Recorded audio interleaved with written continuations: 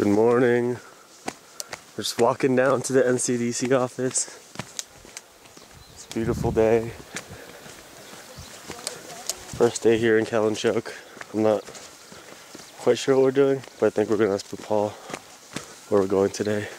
I think we'll be headed to the high school today to check out the tap stand situation so that we can finalize material quantities.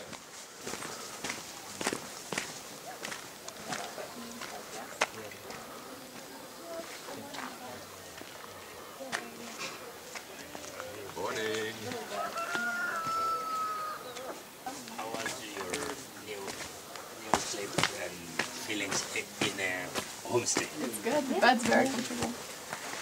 I disagree on the bed part, but the rest of it is good. How are you, my friend? I'm doing well. It's, it's, it's a good morning. Suba Bihan. Subabian, yes. So, so Paul, where are we going today?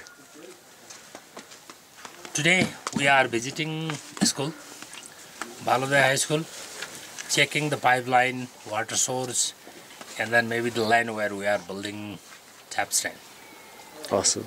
And after that, coming back here, and we discuss about the materials, Mhm. and then finalize the design as soon as possible. I hope it. Yeah, hopefully. Jobs. Abigail is one here. Jobs. what? Jobs.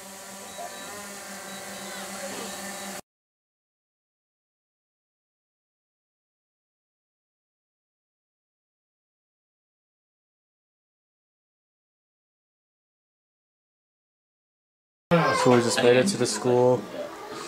Um, we're sitting in the office right now. I think we're gonna go check out the tap stand soon. We brought a bucket to test the flow rate of the tap to see if it's gonna if our design's gonna work. Abby brought some water testing stuff. Ask me what I brought for lunch. Abby, what'd you bring for lunch? Cola.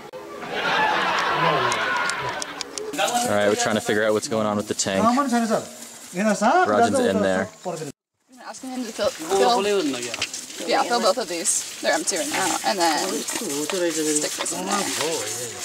Stick this inside. No, that's in the raw water. No, no, wash out those. Not any standing water. No, wash out. You had a pretty simple answer. If you could get so...